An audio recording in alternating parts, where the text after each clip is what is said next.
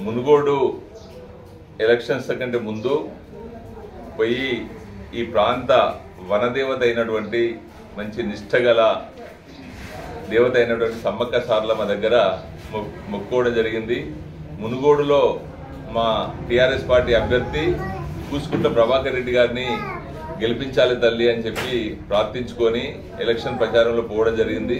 Election ప్రచారంలో భాగంగా దాదాపుగా ఒక పదిహేను రోజుల పాటు అక్కడ మరి ఆ ప్రాంతంలో అన్ని మండలాల్లో తిరిగి అక్కడ పరిస్థితి చే తెలుసుకొని అక్కడికి మరి మా పార్టీ నాయకత్వంతో కలిసి మరి అక్కడ ప్రజలను మా ప్రభుత్వం చేస్తున్నటువంటి పథకాలను అవేర్నెస్ చేయడం జరిగింది.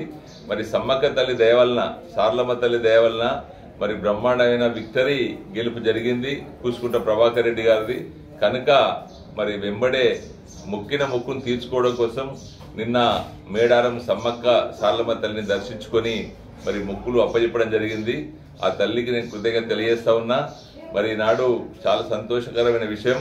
సమ్మక్క సార్లమ్మ తల్లి చాలా మహిమగల దేవత కనుక ఆ మొక్కిన మొక్కు నెరవేరినందుకు నిన్ననే సమర్పించుకున్నందుకు నాకు చాలా సంతృప్తి ఉంది.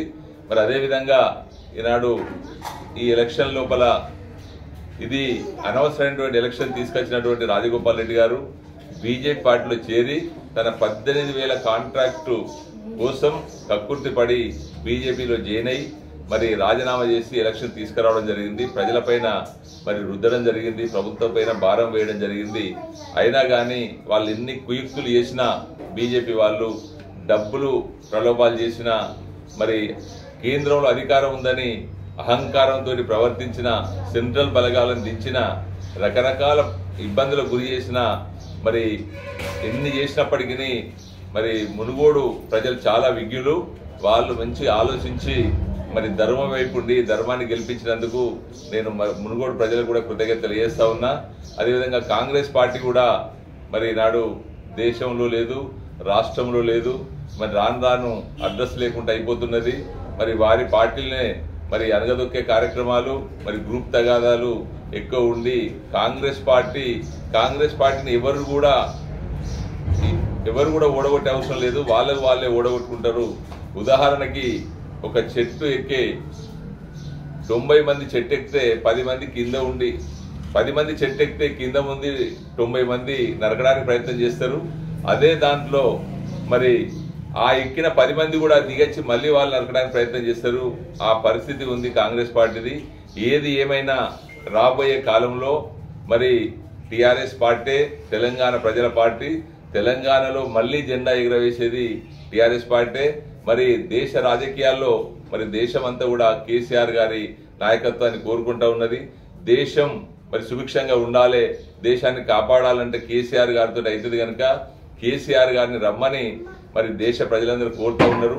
ఇక్కడ చేస్తున్నటువంటి సంక్షేమ పథకాలు దేశంలో ఎక్కడ లేవు గనక మరి ఈ ఈ రకమైనటువంటి మోడల్ తెలంగాణ మాకు కూడా కావాలి దేశం అంతా కావాలని ప్రజలు కోరుకుంటున్న భాగంగా మరి బీఆర్ఎస్ పార్టీని స్థాపిస్తే దానిలో మరి మొదలు మొదలే ఒక బ్రహ్మాండమైన శుభసూచకం మునుగోడే నాంది పలికింది.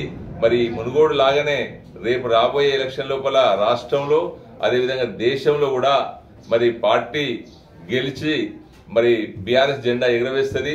మరి రాబోయే కాలంలో మరి కేసీఆర్ గారే ప్రధాని అవుతారు. ప్రధాని అయ్యి దేశాన్ని కాపాడతారని చెప్పి తెలియజేస్తా ఉన్నా. ప్రజలందరూ కూడా ఇప్పటికైనా పూర్తి స్థాయిలో ఆలోచించి ఈ పార్టీలు ఒకటేమో మతతత్వ పార్టీ ఇంకోటేమో గ్రూప్ తగాదాల పార్టీ ప్రజల పక్షాన ఉండే పార్టీ ఒక టీఆర్ఎస్ పార్టీ కనుక మరి రానున్న కాలంలో ఇటువంటి సంక్షేమము అభివృద్ధి కలగలిపి చేసేటువంటి పార్టీ నాయకత్వం టీఆర్ఎస్ కనుక బీఆర్ఎస్ పార్టీని టీఆర్ఎస్ పార్టీని ఆదరించాలని చెప్పి కోరుకుంటూ మరి మరొక్కసారి మునుగోడు ప్రజలకు కృతజ్ఞత తెలియజేస్తా ఉన్నా. జై తెలంగాణ. మరి అదేవిధంగా మరి నేను మా కూసుకుంట్ల ప్రభాకర్ రెడ్డి గారికి మరి ప్రత్యేకమైనటువంటి శుభాకాంక్షలు తెలియజేస్తా ఉన్నా.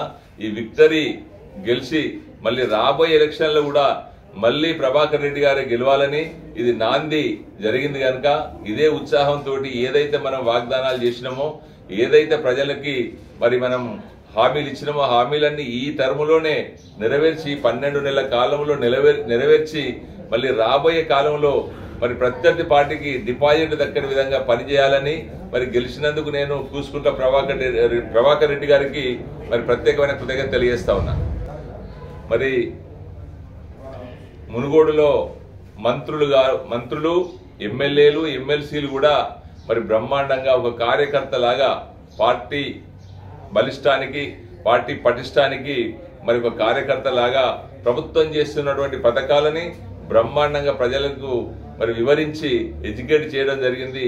కాబట్టి దీనిలో పాల్గొన్న ప్రతి ఒక్క మంత్రి గారికి అదేవిధంగా ఎమ్మెల్యేలకి అదేవిధంగా ఎమ్మెల్సీలకి నేను ప్రత్యేక కృతజ్ఞత తెలియజేస్తా ఉన్నా.